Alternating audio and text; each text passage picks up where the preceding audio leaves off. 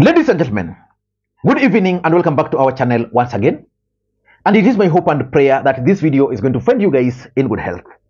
Personally, I am fine as you can see. Kisumu is fantastic. And maybe you could also let me know where you're watching the video from. The county or the country in case you are out of the republic. Ladies and gentlemen, General Francis Ogolla was laid to rest earlier today in Alego Usonga constituency in Siaya County.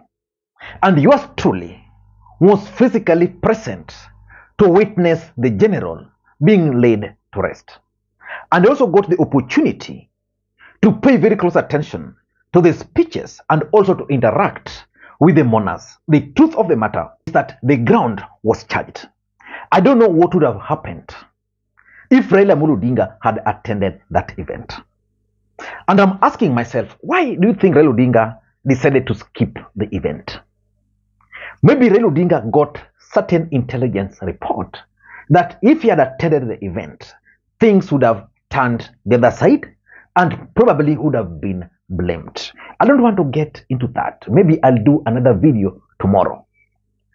But I paid very close attention to the speeches during the event. When Orengo took the microphone, when he handed it over to Oburu Odinga, and I'm going to dissect the speech by Oburu Odinga because it's the basis of this analysis. When he handed it over to Atandi, and of course, when now he invited the Azimio principals. And then when Aden Duale, in his capacity as the Minister for Defense, then now invited the, the executive, Mudavadi, Rigathi Gachagua, and William Ruto. Let us give credit where it is due. William Ruto's speech today was more presidential. Probably he listened to my analysis yesterday and he handed over the role of answering those questions to Aden Duale. And Aden Duale also did a fantastic job trying to explain the whole thing about bombers, you know, the appointment and everything. That is something that William Ruto ought not to have done yesterday because he's the president of the Republic of Kenya. Rigathi Gachagua again scored. Probably Rigathi Gachagua read the mood of the ground and decided, okay, for me, I'm just going to do my work, invite the president and let the president speak. So in this video, I want us to focus on the speech by Oburu Odinga. For those who followed the event in Alego, when Oburu Odinga was given the microphone and when he began his speech, the crowd erupted. So I We want to know the truth. And uh, I want us to do an analysis about his speech. But before we do that, for those who are watching this channel for the first time, please take a second or two, click that subscribe button so that next time we produce a video like this, YouTube will automatically notify you. And to the subscribers, I want to continue thanking you guys for your continued support because without that support, this channel cannot be where it is. Ladies and gentlemen, without any further ado, allow me to dive in. How did Oburu Odinga begin his speech? Oburu Odinga began his speech by sending condolence message, especially that of Jaramogi Oginga Odinga family. As the chairman, listen in.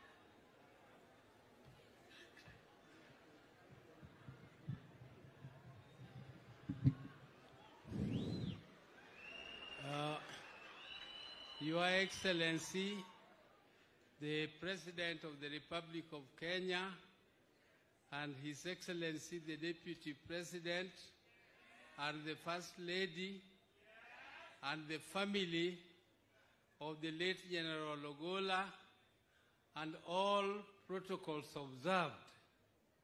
I stand here on behalf of my family the family of the late Jaramogi Oginga Odinga, uh, on whom I represent as the chair. now, the late Ogolla here was uh, is our maternal uncle, and our mother comes from this village. At that point, of course, for me, I knew in the morning that Raila Odinga was not going to attend the event. And those who follow me on Facebook I updated my profile that Raila Odinga was not going to attend the event. So it was clear that Raila was not going to attend, but the family of Jaramogi was represented by Oburu Oginga Odinga. The truth is, the mother also comes from the same same village. Then Oburu Odinga then delivered condolence messages from two people, Uhuru Kenyatta and Raila Odinga. I also come here to bring condolences of my brother, Jakom Raila Amolo Odinga, who has sent me to come because he is a bit indisposed. He could not come personally, but he has uh, asked me to come and represent him and the family. So I also want to uh, bring condolences of Uhuru Kenyatta, the former president of Kenya, His Excellency, who has also brought his con- condolences to the family. He is out of the country, but he has uh, asked me to bring his condolences to the family. Let us begin by Uhuru Kenyatta. Why do you think it is Oburu Odinga who delivered Uhuru Kenyatta's message of condolence to the family? The truth of the matter is that Raila Odinga was supposed to be the one to deliver the message. But in an ideal situation, the person who ought to have delivered Uhuru Kenyatta's condolence message was none other than William Samoei Arap. If we were in a country where certain things are respected, because Uhuru Kenyatta is a former president, he was missing, then William Ruto, before speaking, would have said, okay, the former president is not here with us, and uh, I have his message of condolence, which I'm going to hand over to the family. Or maybe the cabinet secretary for interior, I mean for for for defense, Aden Duale, would have been the one. But why do you think Uhuru Kenyatta was absent? They have explained, this team has explained that Uhuru Kenyatta has been out of the country for the last two weeks. Yeah? So let us go by that. Then delivered condolence message from Raila Amolo Odinga. Which begs the question, why do you think Raila Odinga also decided to boycott this event? Or do we do a comprehensive analysis about that tomorrow so that I can get enough time to gather information here and there? And then number three, Oburu Odinga in his speech, I think based on the speeches by the, the, the general son yesterday, he decided to explain why the Luo nation are actually demanding for justice. It's not just a, a matter of demanding for saying Ogolla was killed. No, why the Luos are suspicious. Now, I would only want to mention one word after saying words of condolences and sympathies to the family. I would just like to say that the, the death was an accident, but even though it is an accident, in this region we have had many such accidents. And we have also had assassination of leaders from this region. So when such things happen, we are a bit suspicious, not because of anything, but we want to know the truth. We want to know the truth. And uh, I want to ask our uncle, the general's son, not to be impatient with us. It is not because of anything. It is just because once beaten, twice shy. So we are asking for no stones to be left unturned and let us know the truth of who killed our uncle, General Ogolla. He was a, he died too soon and we are a bit shaken by his death And of course, it was also clear that he had a message for the son. He had a clear message for the son about the truth. And Oburu Odinga also went further and actually explained using experience that in the past, past regimes have always used the family to try and protect.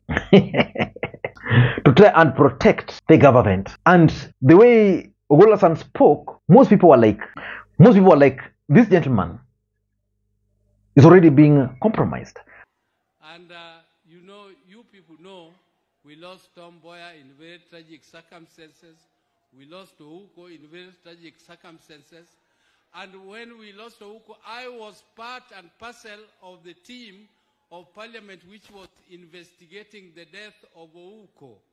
And I can tell you it was very sad because the regime at that time managed to convince the family to be very protective and not to allow people to go into details.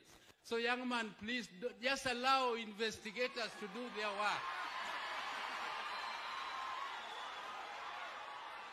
Now, with those very, very few remarks, I would once again want to wish that our uncle is uh, rested in peace in heaven and let the Almighty put him in the best place and was one of our best sons, one of the best sons from this area.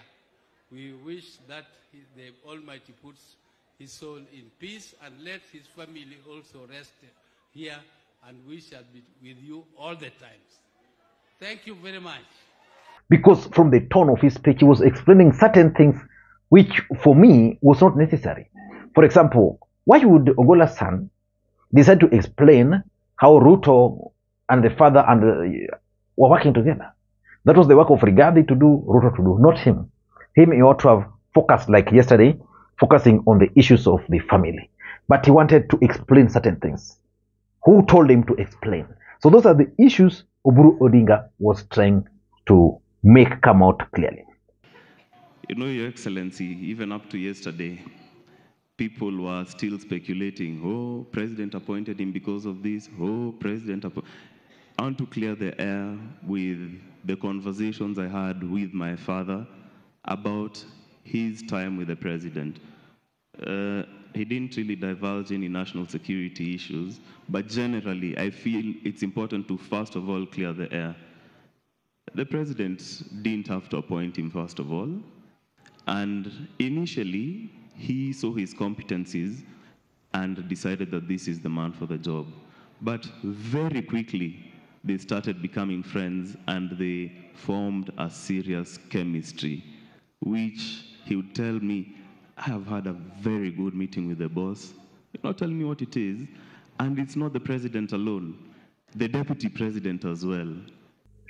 But I've been asking myself, why do you think Raila Odinga missed this event and probably tasked Oburu Odinga to go and deliver his message of condolence or to speak on behalf of uh, Jaramogi Oginga family? For me, if you ask me, maybe two things only. Number one, maybe Raila Odinga wanted to say certain things, but he felt that those things he can't say them right now. You know, Raila Odinga wants to become the chair of the African Union Commission. So he should not be seen to be meddling in Kenyan politics. That was going to jeopardize his vision and mission, and uh, of course, his uh, ambition. So he decided, let me send to Buru Odinga, then Buru Odinga can say some of these things like demanding for investigations the way Oburu Odinga did. I'm 100% sure Raila Odinga would not have done it that way. Number two, maybe Raila Odinga also had some prior intelligence reports. Now, I want to tell you something which happened. Yesterday, UDA brigades from Nyanza mobilized their supporters from across the country, from across Nyanza, the four counties, that is Homa Bay, Kisii, Migori, Kisumu, and they camped in Alego. So in the morning, when the villagers were getting in, remember they made it very clear that the event was going to be military. So when the villagers started streaming in, we had two gates there. There was the other gate where those who are coming in with buses, I saw several buses also from Nyakach, by the way. Those who are coming in from buses, those UDA leader guys, they had the access. So they were just being allowed to enter. Those were the people who filled most of the part of the tent. Then, of course, the villagers were being screened. Unaingia, unaingia ndani. Now, let me ask you, those who watched that event from TV, did you notice that William Ruto was really, at some point, people were chanting Joey, Joey, from outside. Kind of people didn't really want to listen to the speech by the president. The truth is, inside they feel it with their people strategically. But despite that, again, they were still overpowered by the masses. And I believe that's why Rigathi Gachagua read the mood and declined to speak. Instead, just handed over the microphone. So maybe Raila Odinga had gotten intelligence that if he had attended this event, people were going to turn wild. And there was no way he was going to control them. And then he was going to be blamed. And that was going to risk his ambition of becoming the chair of the African Union Commission. I don't know what to think. Tomorrow I'll do some analysis about the entire event or maybe start going back to our normal analysis. Thank you and may you have a good day. Bye bye.